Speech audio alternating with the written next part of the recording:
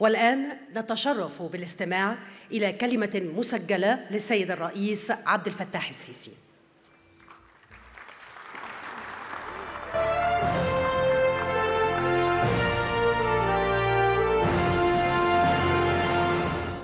بسم الله الرحمن الرحيم.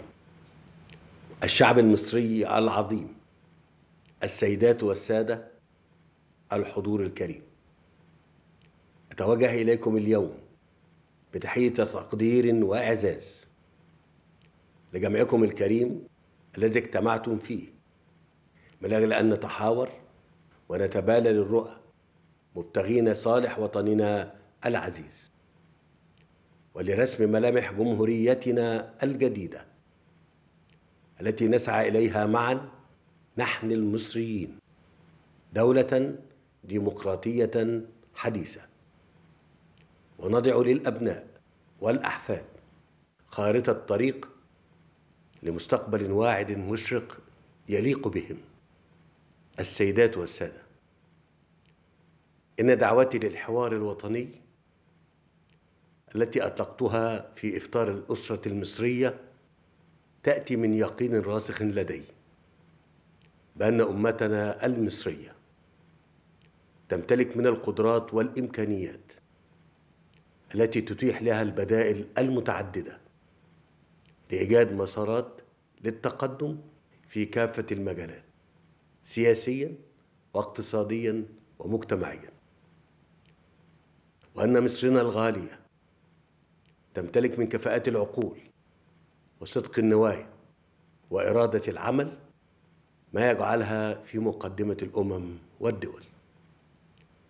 وأن أحلامنا وآمالنا تفرض علينا أن نتوافق ونصطف للعمل ونجتمع على كلمة سواء كما أن تعاظم التحديات التي تواجه الدولة المصرية على كافة الأصعدة قد عززت من إرادتي على ضرورة الحوار والذي أتطلع لأن يكون شاملا وفاعلا وحيويا.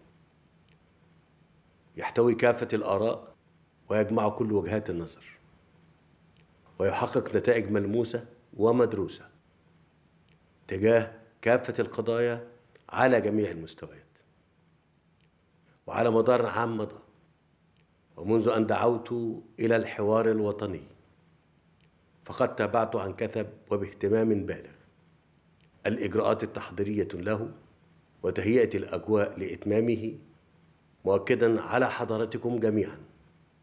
اليوم وما صرحت به من قبل بأن الاختلاف في الرأي لا يفسد للوطن قضية بل أؤكد لكم أن حجم التنوع والاختلاف في الرؤى والأطروحات يعزز بقوة من كفاءة المخرجات التي أنتظرها من جمعكم الكريم المتنوع الجامع.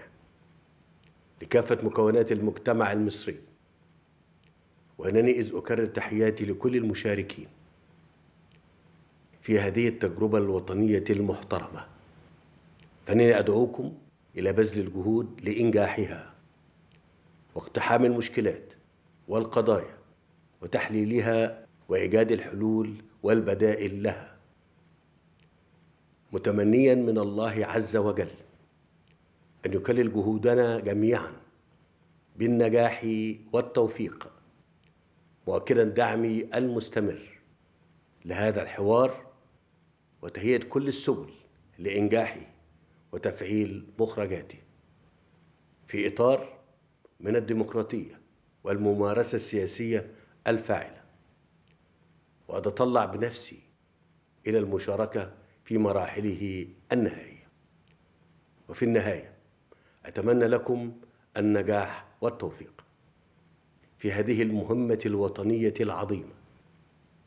وأتوجه بالشكر والتقدير لكافة القائمين عليها وعلى تنظيمها. فمصرنا العزيزة الغالية تستحق منا أن نبذل من أجلها. الجهد والعرق والدم وأن تجمعنا على حبها. فهي الغاية وهي الوسيلة دائما. تحيا مصر تحيا مصر تحيا مصر. شكرا لكم والسلام عليكم ورحمة الله وبركاته.